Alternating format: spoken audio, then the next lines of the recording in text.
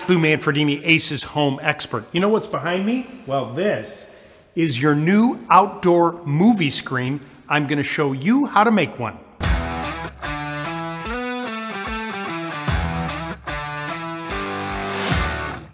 All right, this is a pretty simple way to make an outdoor movie screen that you can enjoy and take down when you don't need it.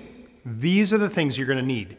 Two six foot step ladders that you can use as the legs to hold it up.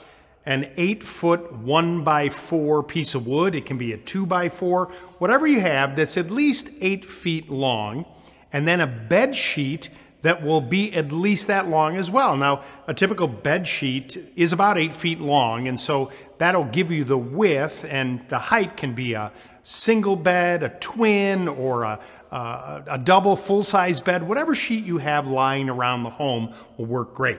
Then you're gonna need some clamps to hold it all together. Go ahead and take that piece of wood, and you're gonna span it between the very top portion of the ladder and use two spring clamps to hold it in place.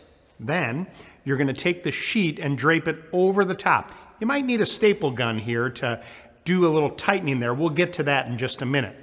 Then you're going to use some folder clips to actually tighten the sheet up on each rung of the ladder steps to kind of get it as taut as possible. You can reposition the ladders a little bit, but remember you're using clamps and if you move it around too much, you may have the wood come unattached to the top of the ladder.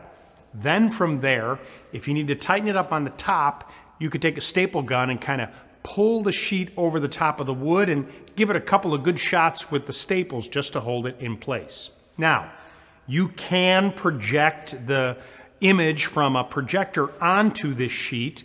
Or if you really want to get that movie quality, if you have a steamer, you could actually steam the sheet to get it as smooth as possible. And then after that, you are ready for movie time.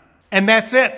If you need more information, you can go to our website, acehardware.com. Please follow us on our YouTube channel, or better yet, stop by your local Ace Hardware store because Ace is the movie place.